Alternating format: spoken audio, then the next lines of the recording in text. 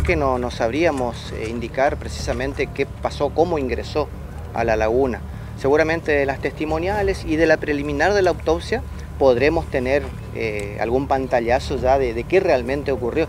Así que con la preliminar de la autopsia podemos saber si, si fue una, una muerte por sumersión, si tiene algún disparo de arma de fuego, alguna herida de arma blanca, así que estamos todavía en las preliminares de la investigación. Comisario, ¿ese es el patio trasero del domicilio que le entregaron la OJ a los familiares? En principio está cerca del lugar, el cuerpo está cerca de, ese sector, aproximadamente a 80, 100 metros del domicilio de Guido está, está, se halló este cuerpo. Usted dijo que todavía van a realizar la autopsia, pero ¿se puede llegar a saber de hace cuánto tiempo está, si desde el principio su cuerpo ahí?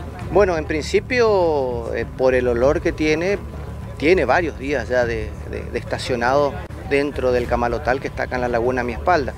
La preliminar de la autopsia nos va a dar el primer pantallazo de la causal de muerte y en función de eso la directiva de la Fiscalía. ¿Tendría vestimentas relacionadas con Guido? Bueno, está, este cuerpo tiene vestimentas colocadas, eh, la verdad que todavía no se los trae de la laguna. Cuando se lo haga podemos apreciar a ver cómo estaba, cómo estaba vestido.